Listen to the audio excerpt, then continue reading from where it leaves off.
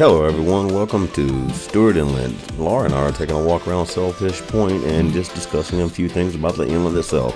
For all you loopers and liveaboards, just pay very close attention to sandbars shifting to uh, St. Lucie Inlet on a regular basis. And welcome to the 50 somethings channel and leave a comment and subscribe and smash that like button. Okay, this is Sailfish Point down here at Stuart Inlet.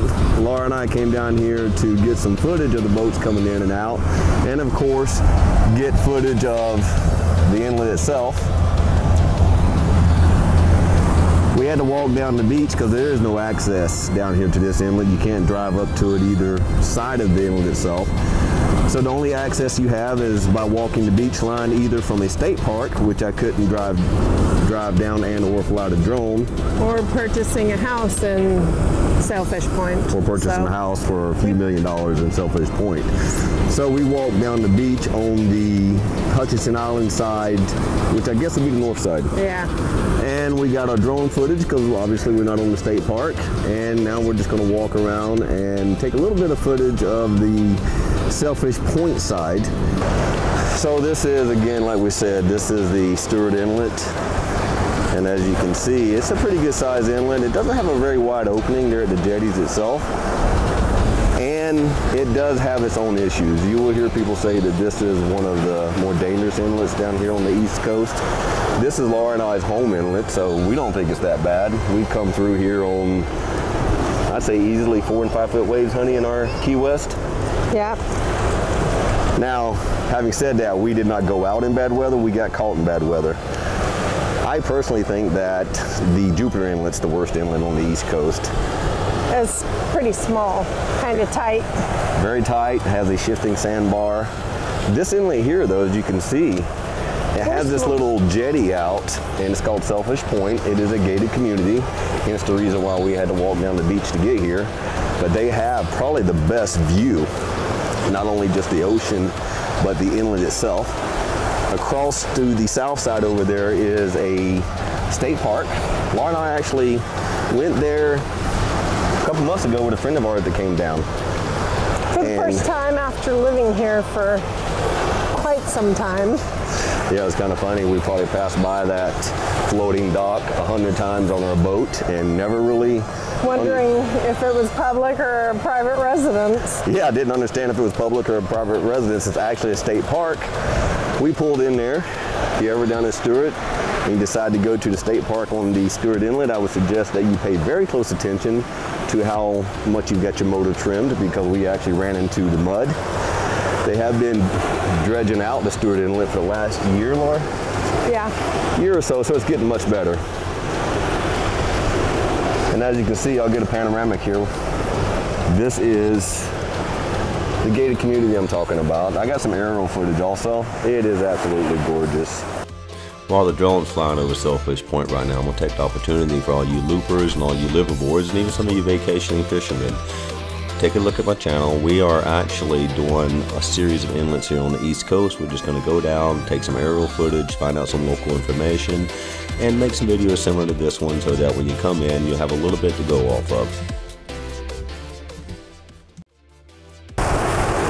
Now you can access this beach here by walking like we did, or you can also, we just had a couple beach their boat, dropped off the kids and I do believe the grandparents, and we're back out fishing. And Laura's looking at, or looking for some shells. We don't have the shells that they have on the west side. You go to the west no. side port on the Gulf, they got beautiful shells. We're known for it. This area we're flying over right now is actually got a several little shoals and very shallow areas. You have to stay in between the markers. And also you pay attention, there is a four-way, we call it the crossroads, because you have the Indian River Lagoon, the Intercoastal Waterway, the St. Lucie River, and the inlet all crossing this one area. And it really does get churned up quite a bit with all the boating traffic. So all of you loopers, liveaboards, and fishermen need to be careful at the crossroads. Stuart, I remember growing up as a kid, Stuart was where you came for all your doctor's visits. It's known for all the different doctors and hospitals over here. Everything from the retirees to the little ones that need specialists. You can come to Stuart. It was and still is to an extent a fishing community. Of course, we're known as the sailfish capital of the world, but it's also still got commercial fisheries, right, Laura? Yeah. Out of Manatee Pocket. I think.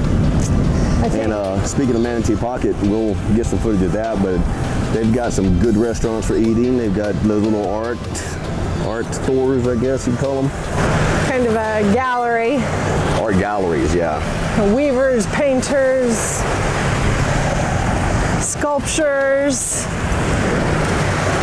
How about that house right there, the whole front side of the glass? There's another one up there too.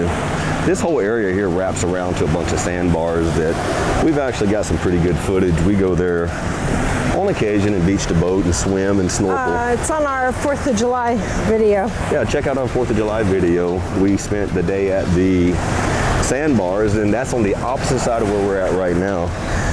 And since I uh, brought up the some previous videos, if you like this video, like and subscribe. You know, leave us a comment, tell us how we're doing. Tell us things you'd like to see. Most of what we do is going to be on the water. It's going to be dealing with our boat, dealing with our future, trying to decide what we want to do with our retirement. You know, this whole channel is about enjoying life, practicing for retirement.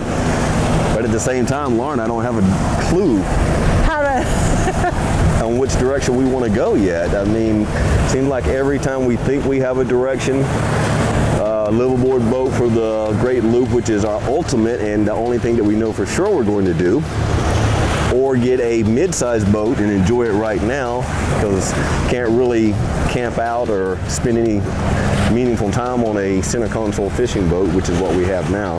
yeah. Now it's just for play. But as I was saying, Laura and I's biggest problem is we have so many options.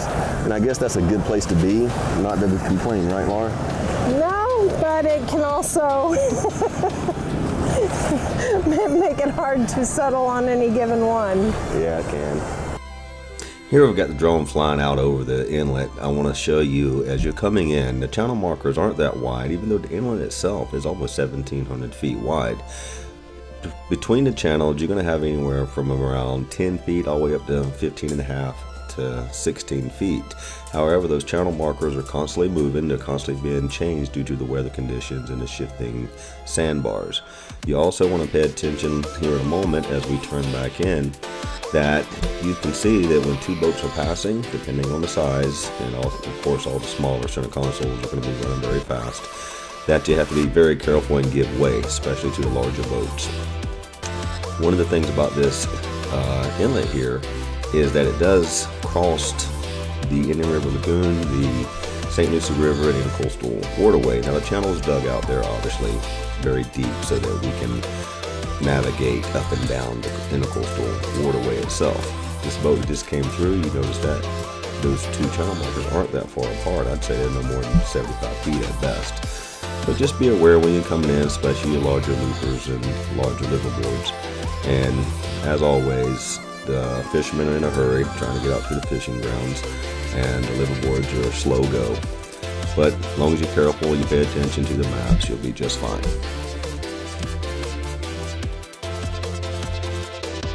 So, again, I hope you enjoy everything. I know we love this place. And if you're ever down here in you need to look up the local things to do. It's not just for fishing, even though fishing's pretty awesome around here. Beautiful beaches, wonderful restaurants. Yes, there's plenty to do. We got a lot of a lot of museums around here too. A lot of a lot of things to do on the water. So next till next time.